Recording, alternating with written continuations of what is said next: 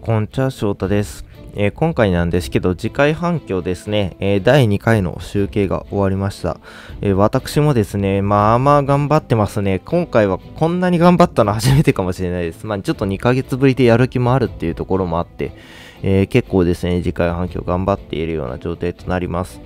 で、えまだ見ていないんですけど、反響リンクですね、えー次回反、おおまあ、新しいキャラクターとかですね、来ていると思って、ちょっとちらっと見たんですけど、なんかもう最先端のキャラですね、来てますね。えっと、えーまずですね、いやいや、とんでもないな、レオニダス1世来てますね、1世だったっけ ?3 世、1世か。レオニダス1世来てますね。まあ、このキャラクターは、あ、撃砕キャラクターとして案外ありなんかな。優先的にですもんね。撃砕、敵全体を撃砕状態にすることができる。うーん、まあ、撃砕キャラクターの中では最強かな。まあ、ただ火力面はそんなに期待できるようなキャラクターではないので、えーまあ、アタッカーではないんですけど、えーまあ、闘技場頑張りたい方ですね、えーまあ、あの熱心にですね、えーまあ、ボス戦、え戦役が、戦役と闘技場のキャラクターをですね、まあ、え追走とかしながら変えている方はですね、えーぜひとも入れていただきたいようなキャラクターになっていますね。レオニダス一世。えー K も同様でですね、闘技場で非常に強力なキャラクターかなと思います。で、箱にしながらですね、攻撃することができるので、まあ一応ですね、えーボス戦とかの、えー適性もかなりある部類だと思いますので、え非常に強力なキャラクターかなと思いますね。いや、K もいいな。まあ、ただ K は、あの、復活した時に残影状態に入れて、その残影によってですね、えー火力か、火力というかスキルの攻撃回数と結構変わってくるようなものになるんですけど、まあ、そういう意味ではですね、えー残影で火力が上がるってことを考えると、ボス戦とかでは不向きかもしれないですね。えーまあ、なかなか育てちゃうとですね、復活に入ることができないっていうことが起こりうるので、まあ、そういった意味ではあんまり、えー期待はしない方がいいのかなというふうに思いました。で、馬長ですね、このキャラクター、ボス戦で結構優秀なキャラクターだったと思うので、ちょっと読んでいきます。えスキル1なんですけど、敵4名に800%の物理ダメージと敏承知の12倍のダメージが入ると。で、その後ですね、HP パーセンテージが最も低い敵を4回追加攻撃。なので、まあ、合計ですね、4名足す4回の8回攻撃となります。で、臨床値で勝っていればダメージ倍になって、状態上耐性100%無視。えーで、盲目罪悪にして、えー命中値80%減少と余ダメージ40%減少と。で、攻撃が命中しないたびに余ダメージが追加で10%減少、最大30%追加減少可能と。えーで、すべての攻撃を3ターンの間自身が残影整合になって回避率70%増加なんで、まあ、非常にですね、強力な残影整合を自身に貼ることができます。で、受けるダメージを35%減少。こっちは弱いです。回避率が強いタイプですね。えーで、スキル2の方なんですけど、のえー残り HP パーセンテージが最も低い敵4名に800%の物理ダメージを与ええーさらに自身攻撃力の100%のダメージが入る。ここが強力なポイントかなと思います。で、毎回攻撃前、敵が盲目状態だとダメージが倍になるんで、まあ、敵を盲目状態には基本的にできてると思いますので、えーダメージ倍ですね、出していくことができると。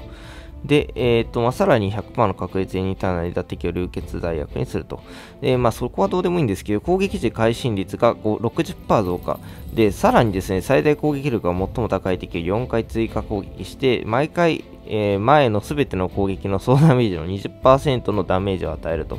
めっちゃ強いな。いや、ボス戦だけ考えたら非常にありな気がしますね。えーっと、一応復活もついているのかな？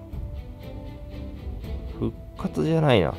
えーっと、敏捷値がレベルかける100上がって、味方がスキル発動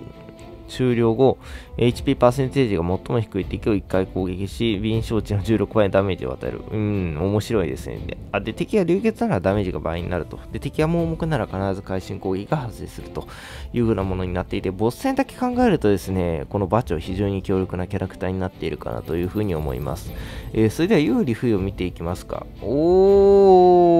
おーあ、ルシーナさん。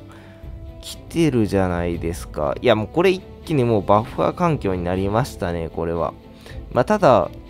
え、ダッキコスト9もあんの？え、コスト9もあんの？ダッキ。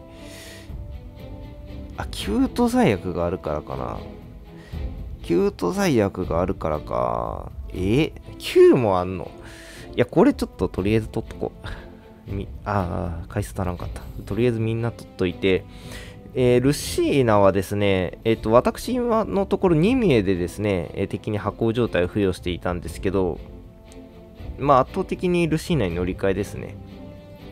あのルシーナ、非常にこのキャラクター強いキャラクターで、えー、まずですね、出陣時と毎ターン攻撃前、味方3名の生後状態を、えー、それぞれ1つコピーすることができると。なので、まあ、別にですね、このキャラクターに生後状態を付与していなくても、まあ、例えばニビアンとか、えー、っと、今で言うと、ちょっと名前で忘れてしまいました。陽気比か。あの辺のですね、えー、まあ、2名に暴走であったり、祝福を付与するようなキャラクターでも、えー、この後からですね、このルシーナのスキルが回ってくるタイミングでコピーしてしまえばですね、ルシーナにも付与することができるので、非常に強力です。で、なおかつですね、えー、このキャラクターに関しては、えー、スキル1範囲攻撃で、で、なおかつ敵に箱を付与することができるようなキャラクターになっているので、敵全体をですね、箱を罪悪にすることができる、えー、っていう非常に安定感のあるキャラクターで、なおかつですね、え圧倒的に火力もですね、えニミエよりは強力なキャラクターになっているので、このキャラクターは必須キャラクターですね。前回もかなりの方が使われていたかなというふうに思います。で、ショートニビアに関してはですね、非常に強力なキャラクターになっているんですけど、まあ、どうだろうな。で、バッファーをみんなバッファーに入れ替えるか。そうですね。まあ、ちょっと一旦バッファーに入れ替える方向で私の中でやってみようかなと思います。あやっぱり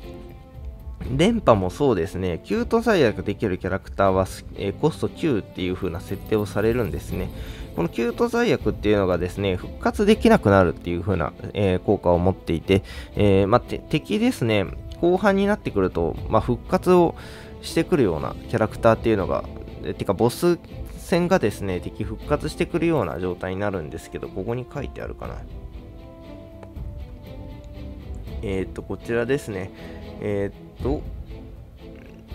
この 20%HP を回復っていうところですね、これ復活になるんですけど、この復活しちゃうとですね、敵が憤怒、狂乱、えー、戦闘状態になる、えー、それので、えー、非常にですね、戦いにくくなるんですね、一気に。で、そういった時にですね、こちらのキュート罪悪を付与して状態で倒すと復活させずに倒すことができるっていうところで、えー、まあ、一部の上手い方はですね、こういったキャラクターを使用して、え、敵を倒していくと。いう風な使い方がされているような印象があります。あ、で、8機も来てますね。じゃあ、撃砕キャラクターは圧倒的に8機がおすすめですね。8機を使うことによって、えー、敵の援護制御も解除しながらですね、撃砕全体に付与できるので、非常におすすめかなというふうに思います。で、状態解除は、まあ、ここはそんなにかな。まあ、8機が一番いいでしょうね。ボス戦っていう観点で言うと。うん。っていう感じです。まあ、なので、まあ、これまではですね、結構デバッファー、箱とか罪悪とか風波とか、えー、使いながら進めていくっていうのが、まあ1周目かな。この理解反響が始まった1周目だったかなと思うんですけど、まあ、2周目はですね、まあ、割とバッファーとかもちょいちょい行き出して、まあ、バッファーとでバッファーが入り混じったハイブリッドな感じで、えー、やっていた方が多いかなというふうに思います。で、これからはですね、まあ、おそらくは、バッファーメインでやっていくことになるかなというふうに思いますので、私もですね、まあちょっと一旦デバッファーを一旦抜いてみて、ニビアンとかショーとかですね、この辺り、まあ、まずはルシーナですね、えー、入れた上で、ルシーナは必須かなと思います。で、ルシーナをうまく使うなら、ショーよりもニビアンの方がいいんじゃないかな。あ、でもショースキル2で風波ばらまけるけど、でも束縛ばらまけますもんね、こっちは。いや、ちょっと悩みますね。まあ、ちょっと悩みますけど、まあ、考えながらやっていこうかなというふうには思います。うん？しょうかななんかしょうなような気もするんで、